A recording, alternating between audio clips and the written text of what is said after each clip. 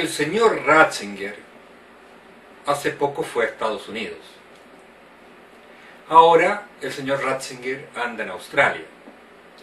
Y lo primero que ha hecho el señor Ratzinger apenas ha llegado a sus países ha sido pedir perdón por los abusos sexuales a los niños por parte de clérigos, sacerdotes de todo tipo de la Iglesia Católica sobre esos niños. Para ser más exacto, el señor Ratzinger debería pedir perdón no solo por eso, sino por una felonía mayor, que es que la Iglesia Católica lo sabía, no dijo nada, es más, lo escondió. Trasladó a esos clérigos, a esos sacerdotes,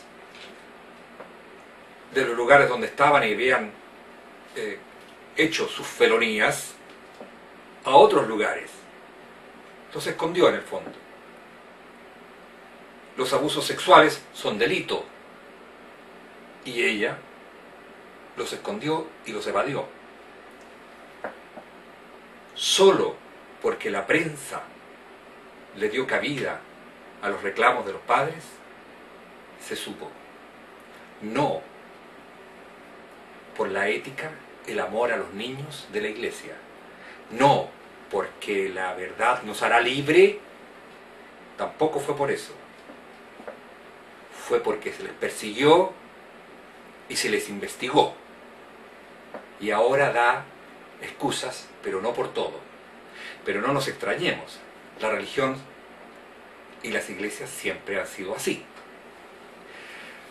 Los judíos tienen la circuncisión, un abuso sobre una, un bebé no tiene ni dos meses, y con este gusto por la sangre de las religiones, pues le hacen la circuncisión, de tal manera que le producen dolor, sufrimiento, sangre. ¿Por qué? Porque sí. No hay ni siquiera un mandato bíblico. Es más, ese rabino debe con sus labios tomar el pene de esa guagua o de ese bebé y expulsarlo. Antes de que existieran los antibióticos, muchos de esos bebés fallecieron por infecciones. Y actualmente, ¿por qué se hace? Siempre por el gusto del sufrimiento. No hay ninguna razón para hacerlo, excepto de entrar siempre en la cosa sexual. ¿Se, es, ¿Se equivocó Dios? ¿Le puso algo de más a su diseño que hay que sacarlo? Es más, si un adulto se convierte al judaísmo, también este rabino debe hacer lo mismo. En cualquier parte, si un adulto chupa el pene de una bebé, sería delito. Pero aquí está la religión, entonces aquí no es delito. Los musulmanes cortan los labios mayores y el clítoris de los aparatos sexuales de las mujeres. ¿Por qué? Porque los musulmanes no quieren a las mujeres, son una clase inferior, ni a los judíos, ni a los homosexuales, ni a los que no son musulmanes, por supuesto. Pero además, para que no gocen las mujeres, porque no deben gozar. Otra vez, la cosa... Y esas mujeres son niñas, a las cuales no se le pide, por supuesto, su opinión, lo mismo que en el caso de los judíos.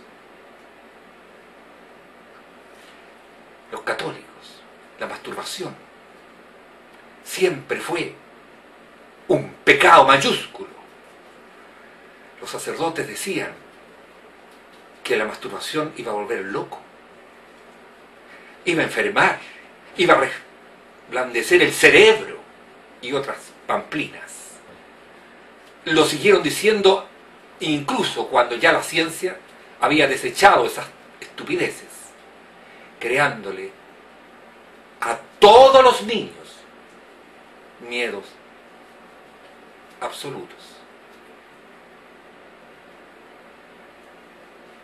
Y además, para ser sacerdote hay que ser célibe, es decir, hay que decidir no tener sexo, entre comillas, obviamente. Es decir, no hacer algo natural. A esos sacerdotes yo les diría, ¿para qué cree que Dios, el Dios de él, le dio pene?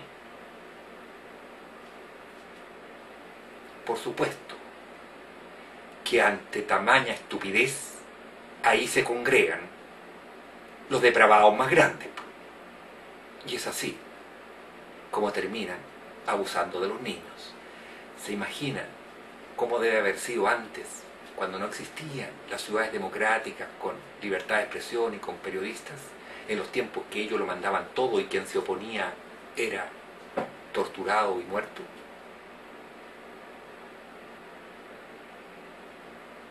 Las religiones siempre, siempre son una negación de la vida y del gozo.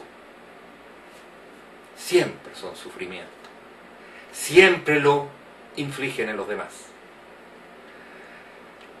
Las iglesias y las religiones, desde cierto punto de vista, son unas organizaciones estructuradas tanto para reprimir el sexo en los seres humanos como producir abusos en los menores.